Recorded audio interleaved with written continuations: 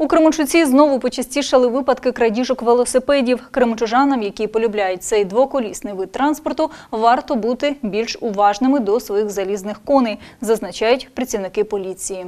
За лютий місяць у Кременчуці зафіксовано чотири випадки викрадення велосипедів. Двоколісні, що залишилися без нагляду власників у під'їздах біля супермаркетів, стають ласими об'єктами для злодіїв. Днями до поліції звернулися двоє заявників про викрадення велосипедів. В обох випадках на місці, де мав би стояти транспортний засіб, власники виявляли лише перекушений запобіжний трос. За всіма фактами е, крадіжок велосипедів розпочати кримінальне провадження. На даний час е, працюють оперативним е, шляхом наші співробітники, встановлюються всі обставини крадіжок. Якщо е, ви маєте інформацію про осіб, які скоюють дані діяння, так як ми бачимо подібність, певно, е, дану інформацію можна повідомити на лінію 102.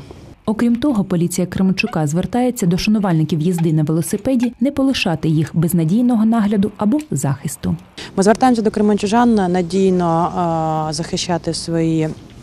Велосипеди, окрім цього, е, є ряд е, зараз е, за- засобів, які унеможливлюють крадіжки.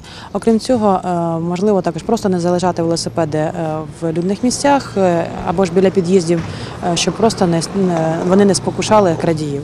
А вчора оперативники Кременчука затримали 22-річного чоловіка, причетного до крадіжок гальмівних котушок з ліфтів. Тим самим злодій виводив з робочого стану ліфти в багатоповерхівках. Молодик раніше судимий, в тому числі і за крадіжки.